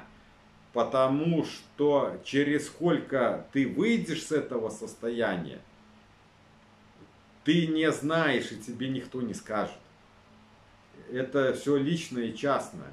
И поэтому, исходя из этого, я стал понимать, что меня, мне нужно себя программировать, свой мозг, на неопределенное время. То есть я себе говорил, я буду тренироваться столько, сколько надо. А сколько надо, это неограниченное время. Я не ограничивал свой мозг и себя во времени. Я его запрограммировал на невероятные возможности, на неопределенное время. И значит, ему пришлось работать столько, сколько надо, потому что я ему временной промежуток не установил. Это, это на первый взгляд кажется вот бредом то, что я сейчас рассказываю. Но, ребята, это не бред, поверьте мне, То, что я рассказываю, большую часть того, чего я рассказываю, это происходило со мной, и это делал я с собой. Это не какие-то мои там фантазии, выдумки и либо я где-то чего-то там начитался и сейчас вот сижу вам перефразирую, это мой опыт, и оно так работает. И оно так работает, и самое сильное, поверьте мне, это сильнее всего, это сила веры. Вера. Она чудеса творит. Вера, она, это, это невероятные возможности, если ты во что-то абсолютно поверишь. Оно так и будет. Но если ты только немножко будешь сомневаться, у тебя ничего не получится. Вещи, вещи происходят, даже те, что называют фантастикой, я понимаю, как они происходят. Они только происходят в случае абсолютной веры. Когда человек чего-то хочет, он в это верит, это и есть э, закладка себя программирования, и мозг начинает над этим работать он начинает над этим работать, а там много чего включается в эту работу. Квантовая физика, это там э, квантовая механика, там, там, там много чего происходит, понимаете? И даже еще такие вещи, которые я сам до конца не понимаю, потому что вообще Вселенная это сложнейшая структура, наша Вселенная. У нас в мозгу маленькая Вселенная, чтобы вы понимали, если мы раскрутим в одну полосу нашу нейросеть, вот эти нейронные связи, то расстояние получится от Земли до Луны. Если мы в одну линию выстроим вот нашу нейросеть в одну линию. Расстояние получится от э, Земли до Луны. И наша нейросеть, она, если посмотреть на устройство Земли, вот э, на ее именно энергетическую сторону, как устроена Земля, вот э, это тоже своеобразная нейросеть. А наш мозг, он, мы же небольшие, мы же не как Вселенная, это как бы Вселенная в миниатюре называют, понимаете? То есть там э, тоже так, и такое идет переплетение и, и э, процессы очень похожи на те, что идут в Вселенной, нашей Вселенной, понимаете? Мы информацию из Вселенной берем. У нас информация со Вселенной тоже приходит. Я видел, как мысли извне приходят. То, что вы уже многие тоже видите. Как они оттуда приходят. Они со стороны приходят из Вселенной мысли. Точно так у нас зарождаются. Но зарождаются у нас, это я еще понимал, что они где-то там, эти мысли образуются. Но то, что они приходят со стороны, ниоткуда, со Вселенной мысли приходят. А наша Вселенная это очень э, большое, это очень большая библиотека. Во Вселенной э, очень много информации, очень это такая крупнейшая библиотека, носительница информации. И людям зачастую оттуда информация приходит. Вот я когда в последнее время интересовался вот эта квантовая физика, генетика, Татьяну Черниговскую смотрел, вот такие люди, которых вундеркиндами называют, например, вот, э, ну, вундеркинды там, люди особо там развитые, с особыми там э, своими э, Э, развитием тем или иным. Индиго или как? Нет, ну вот Эйнштейн, вот я смотрел как-то ну, мне Эйнштейн, по-моему Эйнштейн как-то в голову засел, человек, человек, вот мы работаем над, скажем так, над, к нам идея, вот пришла некая идея, то есть идея это мысль, мысль сформировала, мысли отторгают нам голограммы, то есть некий показала образ. И мы начинаем над этим образом работать, как вот его сделать, как его прийти. То есть это такие тонкие понимания. Так вот, дело в том, что формула Эйнштейну, он вообще шел по, по берегу, по-моему, океана или моря, он не думал над той работой, над которой он там работал уже на, на годы или сколько. ему просто формула некая пришла, формула. формула э, того... Таблица Менделеева. Но это Да? у Менделеева. А, я, это у Менделеева, я, раска- Эйнштейна. я про Эйнштейна А, рассказываю. ну, он, а, Менделеева, кстати, во сне. Во сне. Вот это то же самое Да. связано. Во сне человеку приходит мозг, работает, работает, работает, и потом раз, оно откуда-то И появляется. Но а, дело смотри в чем. Если у нас этого мозгу не было, если мы этого не знаем, так откуда оно появилось? Извне. Значит, получается, оно пришло откуда? Со Вселенной. Кто-то транслирует, получается. Да, Информационный какой-то есть э, Это, носи... это... носитель информации. Это, Носитель. это носитель, он неодушевленный. Вселенная это энергетическая э, энерги- Структура, опять же, поле энергетическое. энергетическое поле. Ну вот э, переплет- Каждый к нему подсоединен чем-то. все к нему подсоединены, просто мы не знаем Да, не знаем, этого. как этим даже пользоваться.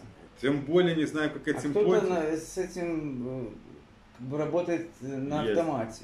Есть. э, Есть- неосознанно. Есть неосознанно, Неосознанно. Вот то, а- что... а есть, которые уже осознанно работают. Да, есть осознанно. Я вот тоже смотрел, есть Ратников такой. Именно они подключались осознанно к этим порталам. То есть там очень много таких вещей интересных я изучал, как бы порталы переходить, перемещение во времени. Ты можешь перемещаться. То есть ты можешь как бы у- либо попасть, либо увидеть себя э, во времени будущем, понимаешь?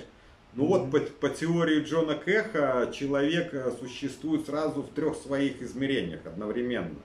То есть молодость, средний возраст и уже более пожилой. Мгм. Но э, в его идее, что человек вот эти три жизни проживает одновременно. Просто за счет э, вот этих искажений полевых. То есть э, мы не видим себя там. Понимаешь, как оно Мгм. происходит? Вот. Но в его идее, что мы одновременно существуем одновременно в трех своих э, именно возрастных категориях. А еще они сделали вывод, они э, со знакомой тоже психологом, они ездили отдыхать, и они видели себя, себя вживую живых, э, тех, которые, когда они находились два года назад на этом месте. То есть они наблюдали себя со стороны. То есть открылся портал, и они видели себя э, два года назад.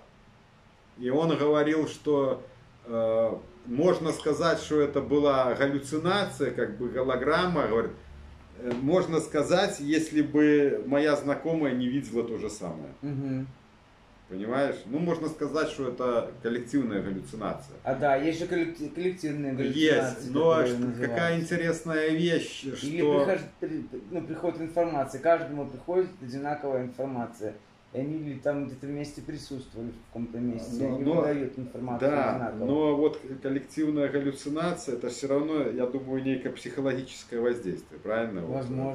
Но если они психологи, люди подготовленные, потому что он один из тех, кто изучал мозг, и он довольно хорошо, Джон Кэх управлял своим мозгом. Мгм. Он много чего, вот его, его книги, я начинал с его книг.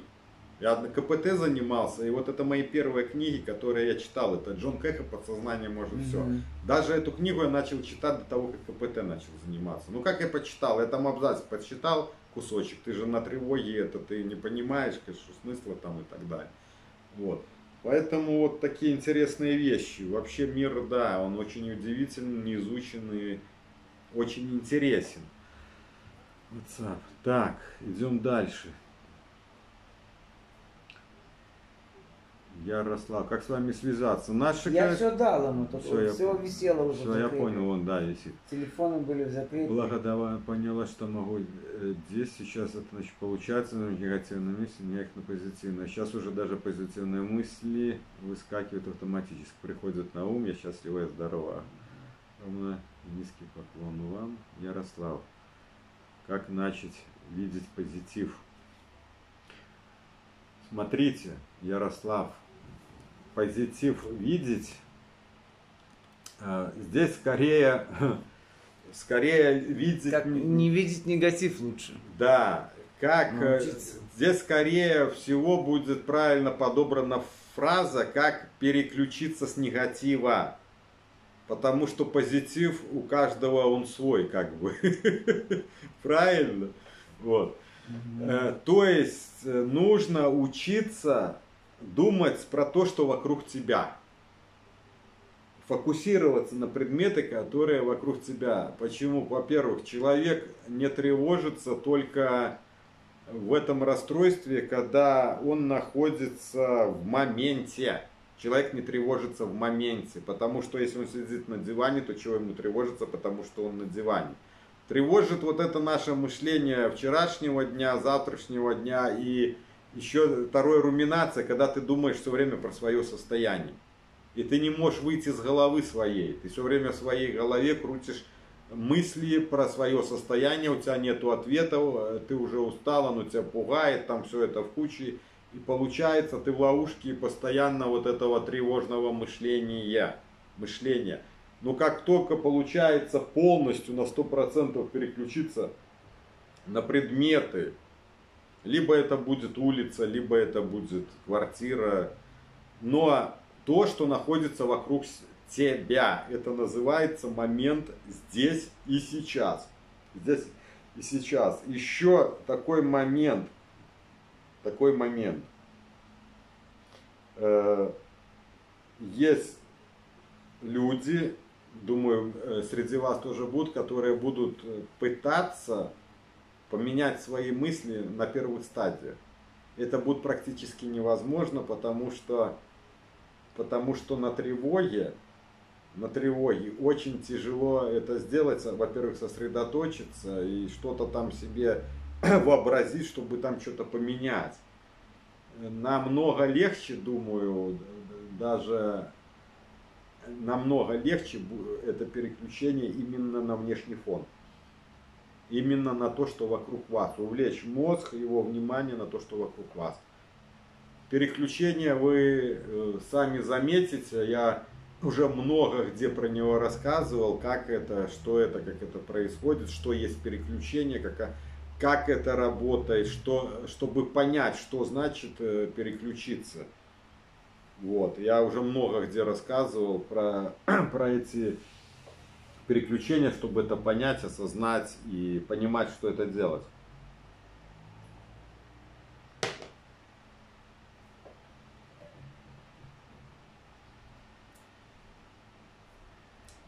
Вот.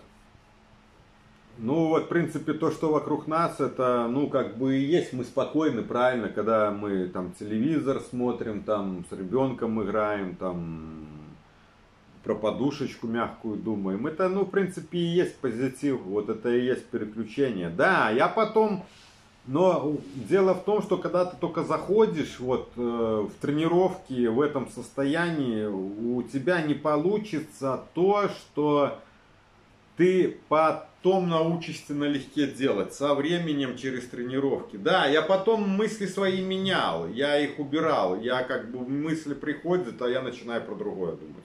Я, то есть, игнорирую, сразу про другое думать начинал. Но это у вас сразу не получится. Это, это нужны тренировки, чтобы к этому прийти. Комплекс тренировок очень разный. Очень разный, работать на переключение. Первый момент нужно осознать, что значит переключиться. Потому что люди, они там смотрят на этот телевизор, смотрят на эту подушку или на это дерево, но они все равно гоняют мысли, они все равно думают про свое состояние. А это ты не переключился. Потом оно как-то происходит 50 на 50, ты в голове сидишь и уже отчасти вроде отвлечен, но все равно ты там крутишь. Потом там 70 на 30 уже ты как бы полностью уже вообще оттуда перещелкнулся, а потом уже на 100% ты перещелкиваешься. Но вот это видел, у меня так происходило, это я так видел, как вот у меня оно было. Переключиться очень тяжело, я вам скажу. На первых этапах, когда у тебя сильная тревога и вот эта руминация, когда тебя как магнитом, переключиться очень тяжело, потому что один из моментов, ты уже сформировал это тревожное мышление, это способ твоего мышления. Ты все время думаешь про это, вот он у тебя все время крутится. А теперь тебе нужно формировать другое, более спокойное мышление. То есть переключаться. За счет переключения ты тренируешь более спокойное свое мышление. Ну, там плюс еще разные факторы работают. Там замена убеждений, понимание, что это не так, как ты думаешь, то есть э, вот такие вещи.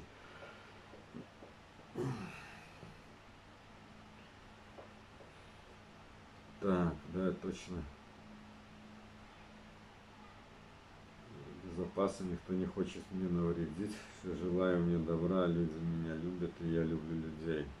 Вот это интересно, жизнь безопасна, никто не хочет мне навредить. А вот у вас здесь уже похоже как на... Как это? Э, на маньякальность, что якобы вам кто хоть кто-то хочет навредить. Вот есть такая, ну это маниакальность называется. Женщина выходит на улицу, и она думает, что все мужчины на нее обращают внимание, и что все ее хотят там, ну понимаете, то есть это такой момент. Но это ошибка в мышлении, на самом деле на женщину там особо никто на нее не смотрит, и ничего от нее не хотят, а это у нее вторая ошибка в мышлении, это чтение мыслей, она думает, что так про нее думают, понимаете? То есть, и вот когда ты понимаешь, что это не так, как ты думаешь, что там за тобой никто не следит, никто тебя там не хочет там с тобой что-то сделать, то ты это осознаешь, как бы, но это нужны примеры, чтобы человека переубедить в этом, что это не так, как он думает. Тогда он начинает осознавать и менять свое убеждение, что это не так. Понимаете? То есть это вот есть такие моменты ошибки в мышлении. Когда человек э, делает, он неправильно думает, делает неправильные выводы именно из ошибок мышления. Потому что это не так на самом деле, как он э, думает, а значит он э, в это верит, значит он думает, что это так. Как он, как он в это верит. Но на самом деле это не так. Вот в чем дело.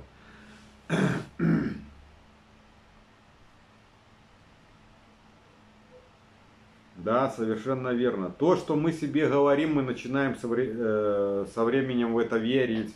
То есть мы встраиваем в, в свои вот эти нейросети, мы встраиваем убеждение, внедряем туда убеждение. И мы, то, что мы себе говорим, мы со временем начинаем в это верить. Совершенно верно.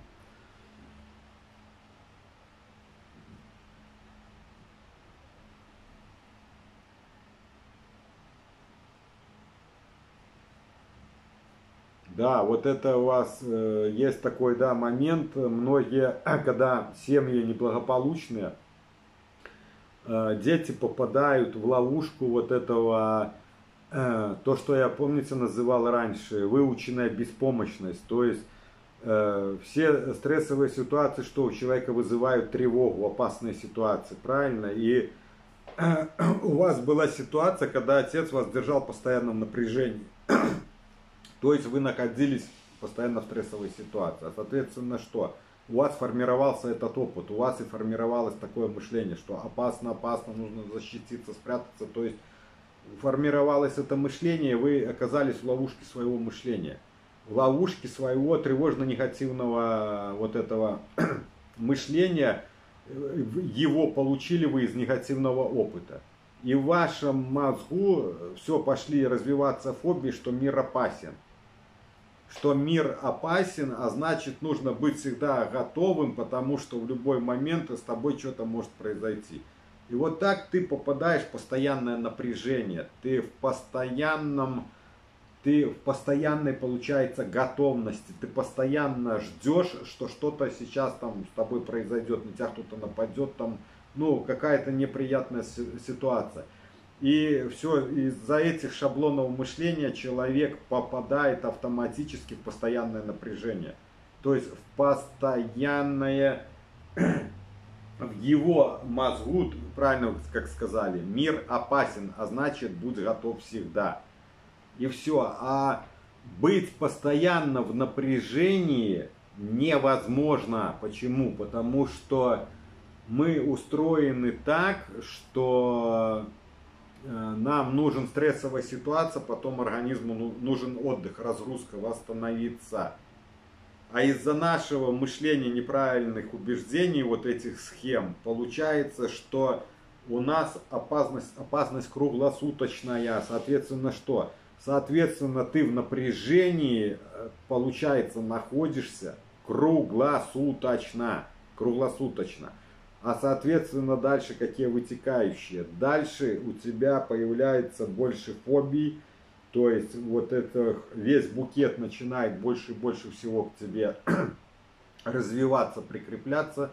Ты больше вот этих всех негативных моментов начинаешь приобретать больше триггеров становится, кардионевроз подключается, психосоматика, у тебя начинает там дергаться непроизвольно глаз, там рука, нога, то есть немец там, там, э, но это все, оно именно из-за тревоги, из-за напряжения происходит. Идет такая, как говорят, разбалансировка вегетатики, Э, и больше и больше у тебя начинает фобии появляться, страхов, ты этого пугаешься, ты неверно это трактуешь, и вот так ты больше и больше как бы себя начинаешь запугивать. запугивать. Но запомните, всем там лечат нервы, там, в основном все эти доктора говорят, надо лечить нервы. Но нервы здесь ни при чем, поймите одну вещь. Нервы здесь ни при чем. Нервы это всего лишь проводники. Говорят, нервные клетки не восстанавливаются. Да, вот и это я думаю, блин, у меня, как я думал, когда не знал. Думал, блин, я уже в этом состоянии столько лет, меня колбасит, штормит там со мной. Черт знает, что происходит, а нервные клетки не восстанавливаются. Я думал, у меня уже там они все растрепанные, разболтанные, там они подмирали, попогибли, что моя нервная система уже настолько растрепанная, там истощена, что я уже никогда не буду нормальным человеком. Но вот я сижу перед вами, перед вами. Вот я сижу перед вами, который прошел через вот этот весь ад. Вот я живой, как бы относительно здоровый, при своем уме, там не чешусь, не топчусь, не не колочусь, то есть э, по виду спокойный человек, правильно? Пройдя все, все эти этапы, практически там, наверное, на 99%, что присутствует при вот этом расстройстве, я через это все прошел. Через это все прошел, и вот сейчас я сижу перед вами. И вышел без, я пробовал препараты, пробовал, но выходил я без них, без препаратов без препарата выходил с этого состояния, с тяжелейшего этого состояния. Вот. Поэтому вот вам ответ. Клетки, то есть нервная система здесь ни при чем. Это делает голова, это делает наш мозг, это делает наше мышление. Вот с чем нужно работать. Со своей головой, со своим мышлением. Мышлением, а не пытаться лечить там нервную систему. Вот эта ошибка. Люди начинают нервную систему лечить, а нужно начинать с головой своей работать. С ней работать. Со своими вот этими неправильным способом мышления, неправильными установками, неправильными убеждениями, которые вызывают у нас стресс. Вот. Но там все в совокупе, это очень обширная такая штука. Ну вот правильно, у вас вот э, это называется как э, маниакальность, да, кто-то хочет навредить, э, что мир опасен, кто, что вам кто-то хочет навредить, а на самом деле по большому счету вы пофиг всем, вот, ну, особенно в современном мире, что человек человеку волк, ты, ну, до тебя вообще по барабану, ты никому не нужен, понимаете, вот можете провести эксперимент где-нибудь, упасть на траве, полежать и как бы прикинуться, что вам стало, стало плохо, и потом посчитаете из потока людей, сколько человек вам подошло, сколько мимо прошло. Я думаю, что количество прошедших мимо будет намного больше, чем тех, кто к вам подойдет. Это первый момент. Понимаете? Вот. И поэтому вот это нужно осознавать, понимать, понимать. И, конечно, да, менять свое убеждение, что мир прекрасен и, и, и хорош, и приводить положительные вот эти моменты, почему он прекрасен. То есть вот так и формируешь, меняешь, да, свои убеждения и понимание, осознавание, потому что человек, вот, например, он верит, что за ним следят. он верит, что за ним там маньяк ходит, или он верит, что его там ограбить хотят. Это навязчивости, понимаете? Это навязчивый тип поведения называется. Когда человека там некая сумма денег э, лежит в квартире, и он все время ходит и думает, что там сосед его хочет ограбить. Понимаете? И у него это навязчивостью становится. Хотя сосед вообще про, не думает про своего соседа, сосед у него свои проблемы, он про свое думает. Понимаете? Ну, вот это такие вот вещи, где нужно человека переубедить, что это не так, как он думает. Но сам человек, он не переубедится, потому что он свято в это верит. Он свято верит в то, что сосед его хочет там ограбить. И он, его мозг ищет эти причины, чтобы подтвердить это. Например, сосед там не так посмотрел на него, как бы он хитростно на меня посмотрел. И это ему подкрепляет идею, что точно сосед меня хочет ограбить. Хотя сосед, он э, думал про свое, просто, ну, кинул взгляд на соседа, как бы. Это может быть, э, как бы, не специально, а просто автоматически. Вот ты идешь, кто-то мимо тебя проходит, ты просто взгляд вот бросаешь автоматически. Вот и все. А человек это уже трактует из-за э, вот этих когнитивных искажений, он уже ситуации трактует, трактует по, его мозг воспринимает так, как он со своим убеждением относится к этой ситуации. Через, э, через восприятие, линзы восприятия наши, зрение, там, слух, то есть э, мозг воспринимает информацию именно через призму его убеждения.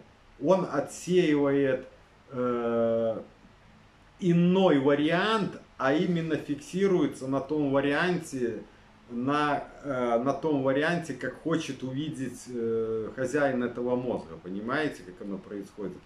И поэтому он воспринимает только ситуацию именно с позиции своего убеждения, при этом не видя, либо игнорируя, но он этого не понимает, это мозг делает. Иной вариант этой ситуации. Понимаете? И он свято в это верит. Бывает, человек настолько в это верит, что это так, он настолько глубинно в этом убежден.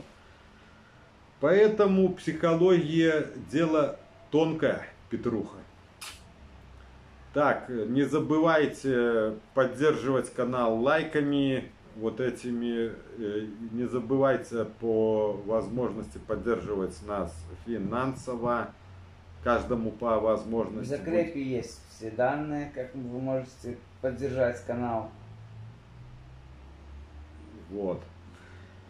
Вот такие моменты. Так, у кого еще есть какие вопросы? Позитивно можно не видеть. Проговариваешь. Да, еще вот такой момент, а вы интересный, когда человек находится в негативном, в подавленном состоянии, то есть, иными словами, в определенной степени депрессивности, то у него может э, работать интересно очень мозг, он может отфильтровывать позитивные вещи, а фокусироваться именно на негативных. То есть вот то, что я рассказывал, человек не видит позитивных моментов, а именно он будет фокусироваться на негативных моментах. И тем самым он больше будет расстраиваться и больше будет э, ну, ну, просаживаться в смысле депрессивного вот этого состояния, депрессивного ощущения, то есть этой подавленности. И чем больше его мозг так будет работать, он больше, больше, больше будет собирать негативную информацию. Это так интересно происходит, ты просто на этом фокусируешься. Ты просто фокусируешься на негативных вещах. Там разные такие моменты происходят. Делаешь неправильный вывод. Ой, птичка там окно ударила, значит я умру. То есть вот. И вот на таких моментах начинает мозг фокусироваться. Анекдот про замороженную курицу. О, Ирина, вот, смотрите, у нас появилась Ирина, видно, она освободилась, с работы пришла, либо это самое на прошлом эфире я подсказал один из моментов, как э, попытаться переключиться вот э, с наблюдения за своим телом либо руминации, это приложить либо, э, либо холодную курицу, замороженную курицу, либо замороженные ягоды э, э, к тому месту, где более, как бы, где более не грубая, а более такая э, ласковая, скажем, кожа, чтобы ощущения были ярче и лучше. И вот Ирина нам сейчас расскажет, какой с ней анекдотичный момент произошел с этой курицей. Ну давайте рассказывайте, а я буду вслух э, зачитывать, зачитывать нашим зрителям, которые присутствуют сегодня на эфире и потом впоследствии будут смотреть наш эфир. Ну рассказывайте, что произошло.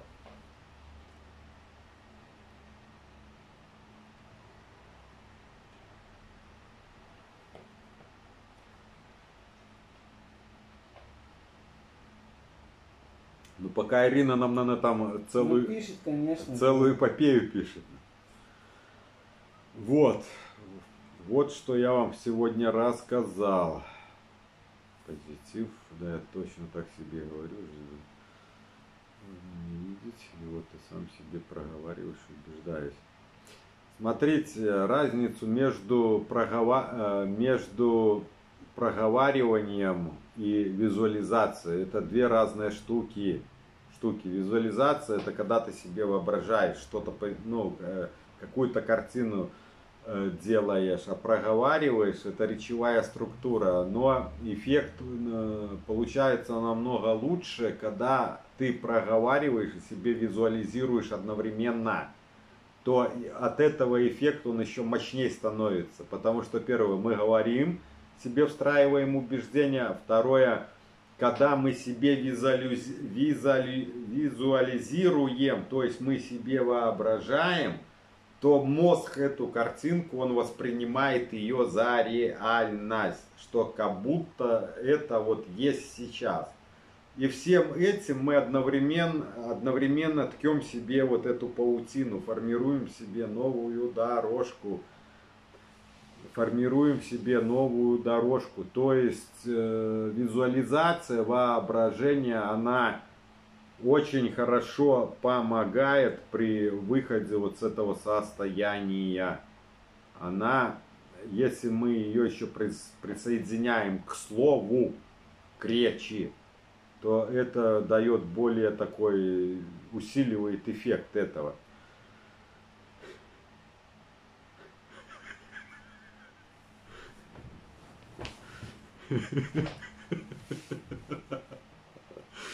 Я, я ее даже не донесла, спазм с груди смотался. Испугался курицы замороженной.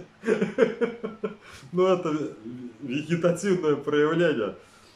Но заболел желудок. Попробую применить и здесь. Спасибо. Но смотрите, Ирина, желудок, вот это оно, как вам сказать, переключение, оно вот с руминацией. Курица вот помогает, когда ты крутишь, не можешь переключиться, либо постоянный контроль своего тела ведешь. А когда вот идут эти проявления, то есть такое, есть такое упражнение, это наблюдать, например, э, наблюдать образами. Квадратик, там, кружочек. То есть на болевое место ты налаживаешь образ э, визуализации, как бы работаешь. Но интересно, я этого не делал.